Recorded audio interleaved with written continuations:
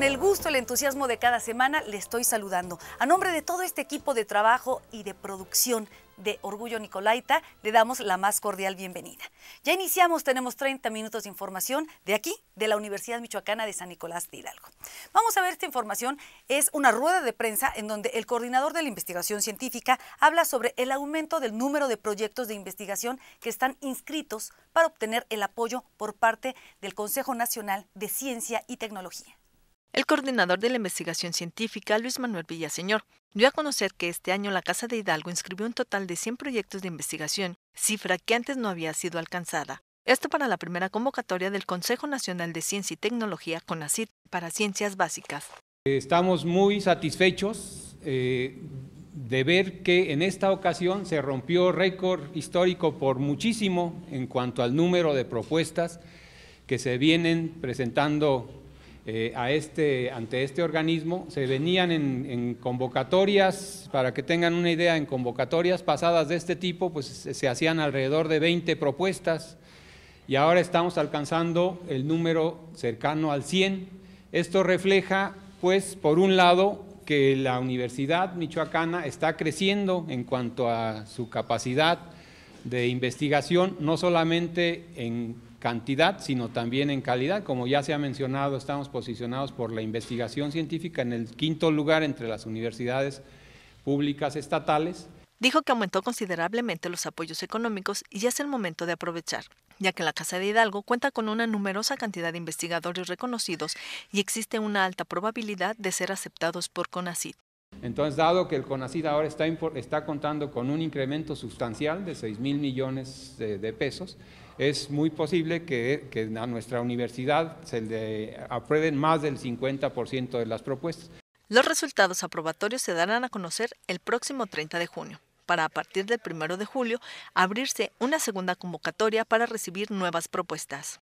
Además agregó que aquí se va a incrementar un 15% la investigación, ya que la encomienda del gobierno federal es aumentar el 1% a la investigación, a la ciencia y la tecnología. Esto es lo que dice el coordinador de la investigación científica, el doctor Villaseñor.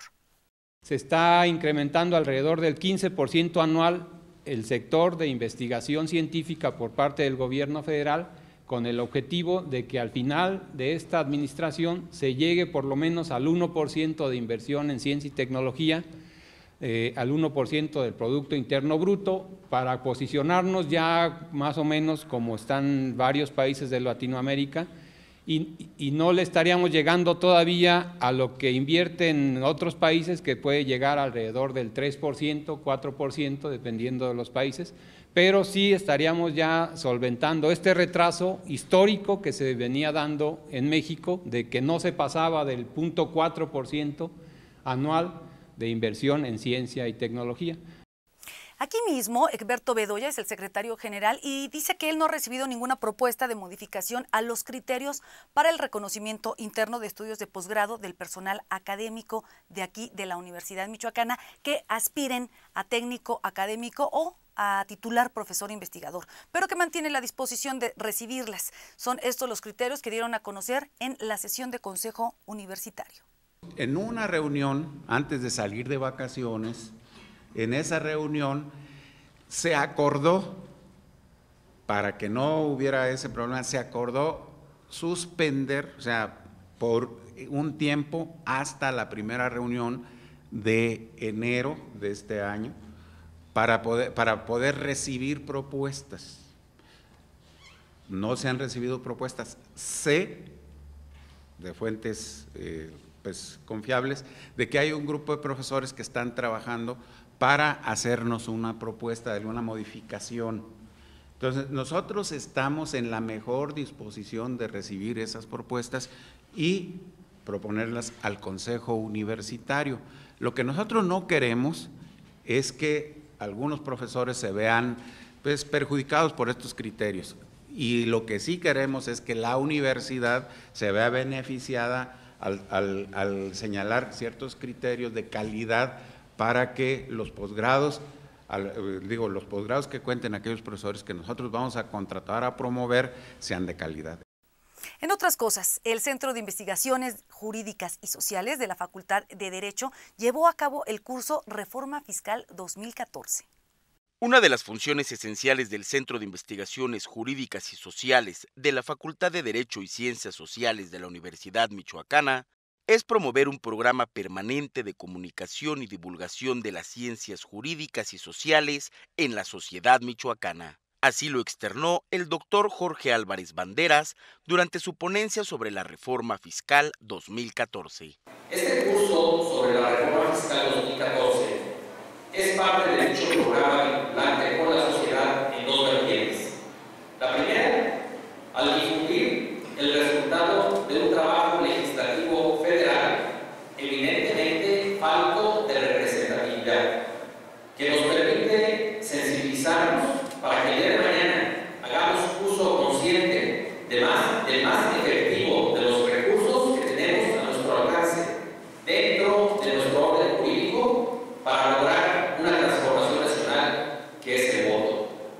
Agregó que formarnos en este tipo de tópicos tan álgidos como es el derecho tributario nos permite tomar conciencia en temas de trascendencia para nuestro país. La Facultad de Medicina Veterinaria y Zootecnia realizará del 29 al 31 de enero la Convención Nacional de la Federación de los Colegios y Asociaciones de Médicos Veterinarios Zootecnistas. Estos son los detalles. Un servidor ha venido impulsando ese tipo de proyectos, ha venido trabajando de manera directa con la facultad y ahora con otro Nicolaita el, maestro en ciencias José Antonio Luna Delgado, egresado de la Facultad de Medicina Veterinaria y Zootecnia de nuestra Universidad Michoacana de San Nicolás de Hidalgo, expresidente también del Colegio de Médicos Veterinarios Zootecnistas de Michoacán, Asociación Civil, pues es la primera vez que un Nicolaita eh, tiene el, encargo de la vicepresidencia y en el evento que, vamos a tener, la Convención Nacional de colegios y asociaciones de médicos veterinarios o tecnistas de México el día 29, 30 y 31 de enero del año en curso, el, señor vicepresidente eh, tomará protesta como presidente de la federación. Además, aquí el director de la facultad, José Luis Osorio Rivera, dio a conocer la reacreditación de la Facultad de Medicina. Esto se prolonga por cinco años más fue muy importante el nivel de vinculación que ha tenido nuestra universidad a través de un convenio que se tiene establecido con el Colegio de Médicos Veterinarios o Tecnistas y la Universidad Michoacana de San Nicolás de Hidalgo. Este tipo de convenios repercute de manera muy significativa en la formación de nuestros estudiantes y de nuestros egresados. ¿Por qué? Porque a través de los médicos veterinarios o tecnistas que, están, eh, que son miembros de estos colegios, se permite tanto a nuestros estudiantes y posteriormente a nuestros egresados poder lograr certificaciones no nada más reconocidas a nivel nacional, sino también reconocidas a nivel internacional. Hacemos una pausa, es muy breve, yo regreso aquí en Orgullo Nicolaita.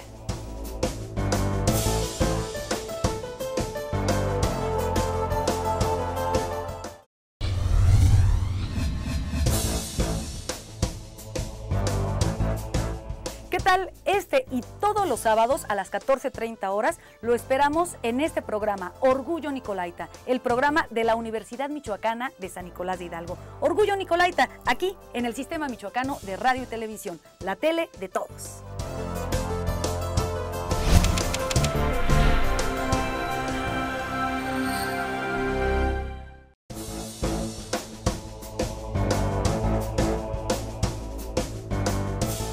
Comisión Mixta de Capacitación de la Universidad, en convenio con el CECATI, realizaron en el 2013 un aproximado de 44 cursos y se pretende que este año se incremente considerablemente el número de estos. En su búsqueda continua por la calidad académica de la planta administrativa de la Casa de Hidalgo, la Comisión Mixta de Capacitación y Adiestramiento y el Centro de Capacitación para el Trabajo, CECATI, llevaron a cabo la entrega de constancias de diversos módulos de capacitación. El director del CECATI, Roberto Gómez Vaca, externó su felicitación a los trabajadores nicolaitas y dijo que estas acciones buscan fortalecer a los empleados en sus labores diarias y de igual forma a la Universidad Michoacana. Pues para nosotros es a, lo que nos dedicamos, el Centro de Capacitación para el Trabajo es, su fuerte, es la capacitación para y en el trabajo. Y, con la confianza de, de, la universidad, pues nos brinda, nos abre las puertas para un mejor este, desempeño de tanto los trabajadores y que el SECATI pues cumpla su misión. Durante el 2013 se impartieron 44 cursos a más de 550 trabajadores administrativos, así como tres diplomados acreditados por la Secretaría de Educación en el Estado. Entre estos se encuentran informática administrativa, inglés, biblioteconomía, integración de equipos y administración escolar. Los beneficiados de estos programas, de estas capacitaciones, nos hablan precisamente de estos cursos y talleres. ¿En qué les ha beneficiado? Eh, de superarnos día con día, sobre todo en este diplomado que estamos tomando de sistemas eh, computacionales, la actualización que se tiene eh, y es una herramienta básica que nosotros en nuestro trabajo pues es importante muchas cosas este, que he notado yo en cambios de la tecnología, que anteriormente pues nada más era de, de prenderla tu textito y ya está ahí. No, hay muchas cosas nuevas y que estamos aprendiendo día con día es para aprender, preparar, prepararnos más en, nuestra, en nuestro trabajo, sobre todo. Eh, por ejemplo, yo como secretaria a mí me sirven mucho estos cursos, ya que yo manejo mucho la computadora, necesito nuevos programas y estoy muy contenta con este curso porque he aprendido eh, mucho de ello y me ha servido además en mi trabajo. Mejorar el nivel educativo y para, mm, para ser mejores en el área de trabajo que nosotros desempeñamos. Algo muy importante porque nos estamos superando simplemente para el trabajo, para muchas cosas, que podemos salir más adelante y aprender muchísimo, muchísimo más de todo lo que nos han enseñado. Bueno, llegamos a la sección del orgullo Nicolaita y quiero presentarles a continuación al doctor Carlos Federico Cabrera. Él es doctor, de hecho ya es un egresado de la Facultad de Economía, pero ¿por qué está en estas filas de orgullo Nicolaita? Veamos. Carlos Federico Cabrera Tapia, su servidor, soy profesor investigador de tiempo completo de la Facultad de Economía. Yo tuve el interés eh, de estudiar la carrera de economía, pues básicamente por una, curiosidad de por qué eh, suceden ciertos fenómenos como la pobreza, la concentración de la riqueza, el aumento de los precios. Desde, desde chavo me interesaba saber, yo viví en eh, mi juventud en los años 80 cuando había movimientos muy fuertes de precios, ¿no? La, la inflación de los años 80 llegó a, a, porcentajes pues escandalosos de 200, 300%. A mí me interesaba entender eso. Y, también, bueno, me, me, gustaba mucho la historia, este, eh, cuestiones de política, entonces me empecé a acercar a esos temas, la problemática de México, y a partir de ahí me interesó mucho la, economía, básicamente ese fue mi, mi, interés, entender, entender esos fenómenos, y pues creo que, sí me ha servido algo para, para entender un poco, ¿no?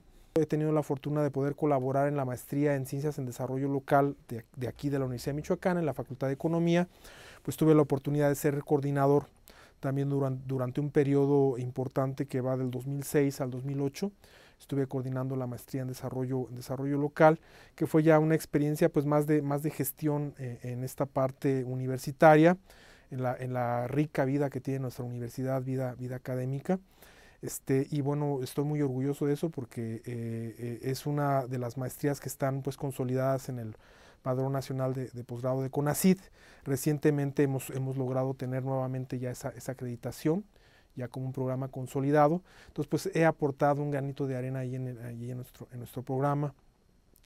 También, bueno, este, terminando este periodo en el 2008, tuve la, oportunidad de hacer eh, gestiones para eh, ingresar a un programa de doctorado, entonces anduve explorando diferentes posibilidades y encontré un, posgrado muy interesante en la Universidad Autónoma Metropolitana, que es el programa de maestría y doctorado en estudios sociales, que tiene tres líneas muy interesantes, cada una de ellas, una línea de procesos políticos, otra línea de estudios laborales y una línea de economía social, que a mí como economista pues me, interesó mucho, siendo un programa de competencia internacional, yo vi ahí eh, toda la cartera de los investigadores pues de muy alto nivel, varios de ellos de, pues ahora sí que de mis, de mis héroes académicos, autores de libros que yo, que yo leía, que yo seguía su trayectoria, su trabajo académico, entonces de repente la oportunidad de estar en un programa de doctorado haciendo investigación con ellos. Eh, yo, me, yo me titulé en marzo del 2012, para mi sorpresa en octubre del 2012 ya incorporado yo acá en la facultad, ya,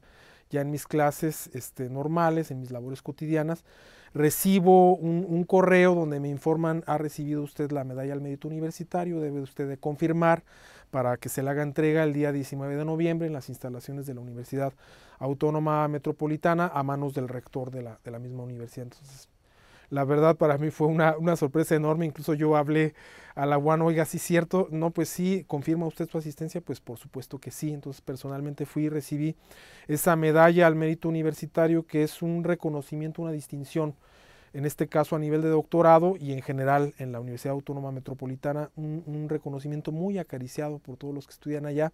Yo jamás me imaginé, jamás esperé recibirla, entonces pues sí es algo que creo que se debe de, de dar a conocer como los egresados de esta Universidad Michoacana podemos ir a programas de nivel nacional, de nivel internacional, en este caso un programa de competencia internacional como es este programa de, maestría y doctorado en estudios sociales en la Universidad Autónoma Metropolitana y recibir este tipo de reconocimientos, ¿no? Para mí fue muy agradable, sobre todo más que a nivel personal como Nicolaita, como egresado de la Universidad Michoacana, pues siento mucho orgullo y quiero compartir con todos los compañeros universitarios, con toda la comunidad de, Michoacán y de Morelia. Eh, les reitero, mi nombre es eh, eh, Carlos Federico Cabrera Tapia, profesor de la Facultad de Economía, orgullosamente Nicolaita.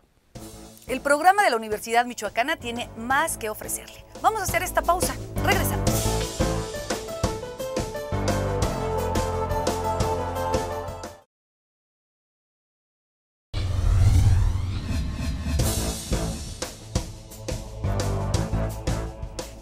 Este y todos los sábados a las 14.30 horas lo esperamos en este programa, Orgullo Nicolaita, el programa de la Universidad Michoacana de San Nicolás de Hidalgo. Orgullo Nicolaita, aquí en el Sistema Michoacano de Radio y Televisión, la tele de todos.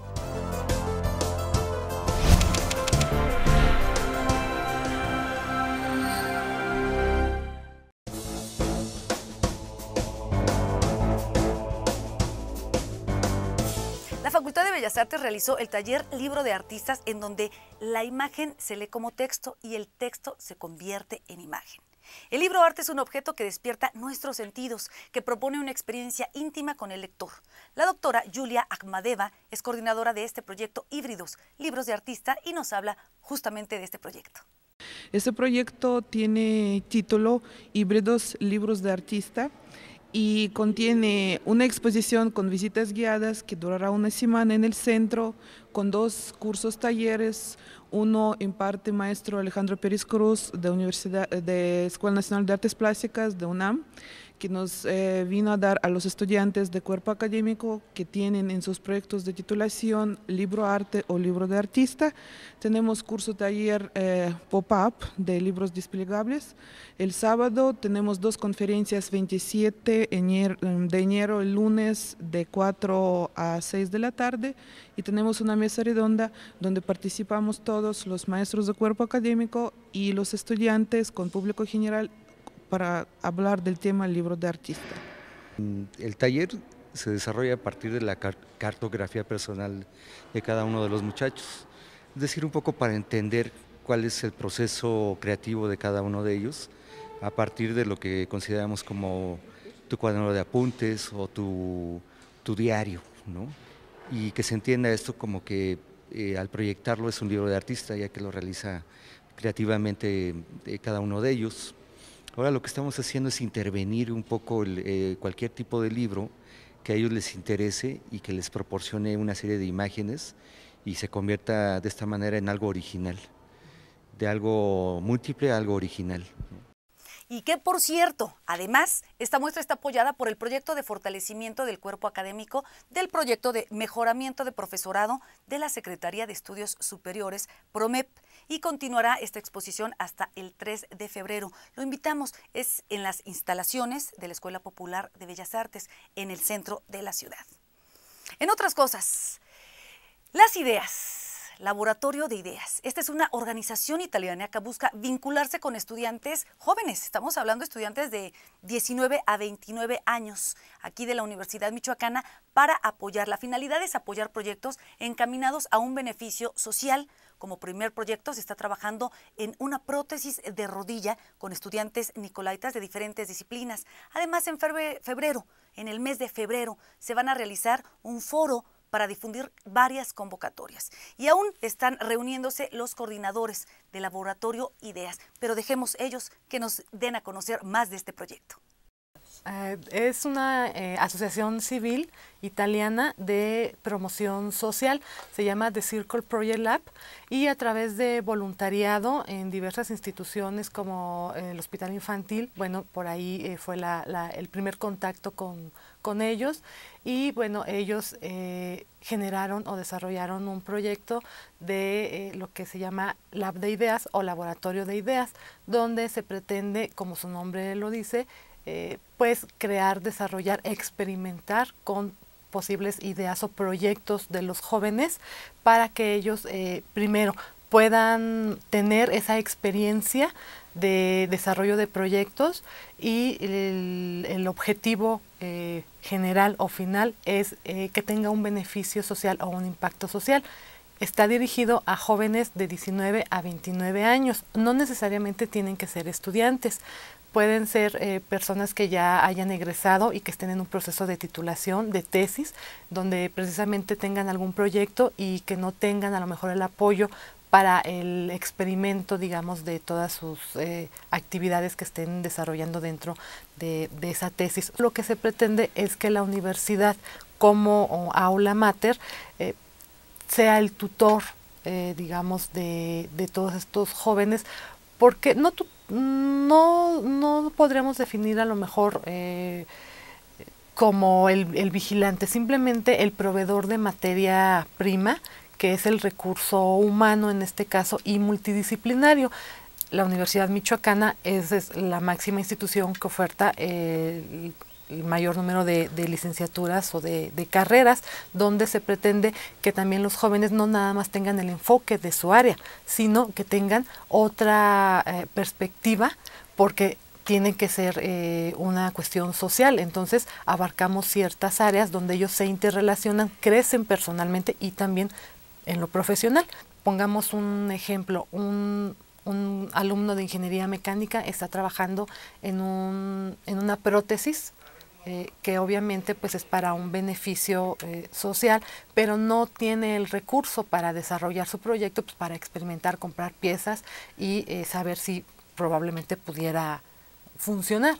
Entonces se busca eh, primero el desarrollo de ese proyecto con otras áreas, en este caso pudiera ser medicina, pudiera ser incluso psicología, eh, área de salud, para eh, que le den, digamos, las perspectivas desde el punto médico o científico y él pueda desarrollar este proyecto. Entonces se desarrolla en laboratorio de ideas y ya cuando una vez que esté listo ese proyecto, obviamente tiene que pasar por evaluadores que tendrán que ser profesionistas del área o académicos de, alguna institución reconocida, en este caso de la Universidad Michoacana, pues entonces está listo para que para solicitar algún recurso mediante The Circle Project Lab, que es la institución italiana que tiene eh, convenios o posibilidad de solicitar recursos con Unión Europea. En este caso, eh, pues todas las, las, posibilidades de recursos que pudieran bajar por la proyección de un beneficio social. En este caso, una prótesis que pueda ayudar a personas a mejorar su salud eh, o su nivel, eh, pues, personal, digamos, como eh, vínculo con la sociedad, entonces eh, se busca el recurso y también se trabaja con otras instituciones de apoyo o asociaciones civil que tengan la misma finalidad para abarcar más, más ámbitos. Entonces, eh, es la posibilidad de presentar ese proyecto ante un organismo superior que muchas veces en México se se detiene por la cuestión burocrática, pero que, eh, digamos, en la Unión Europea están muy interesados en un beneficio social. Entonces, a través de esta asociación, nosotros podemos acceder a este tipo de recursos presentando un proyecto que sea viable. Eh, hay dos modalidades. Una, que ellos quieran nada más trabajar por ayudar además chavos, a la sociedad en general, que no, no sea requisito que tengan una idea en concreto, porque muchas veces dices, yo quiero participar, pero no tengo la, la idea. Ahí, bueno, se puede gestar, se puede generar una, un posible proyecto y si no, pueden sumarse al de algún otro compañero. Y la otra es que yo ya tengo una idea y que pueda accesar. Entonces, el, el primer contacto es mandar un mail eh, donde eh, ellos envían una carta de motivos. La carta de motivos es explican por qué quieren ingresar al lab de ideas, cuál es su intención o su motivación para entrar. Entonces, eh, la persona encargada de, reclutamiento, bueno, lo verifica y lo canaliza posteriormente para una entrevista para ver obviamente el, perfil de la, de la, persona y las oportunidades que pueda tener esta dentro del proyecto. Por hoy es momento de poner punto final en esta emisión. Orgullo Nicolaita lo espera la próxima semana. A nombre de mis compañeros, les agradecemos mucho su atención. Soy Areri Sánchez, me despido. Muchas gracias.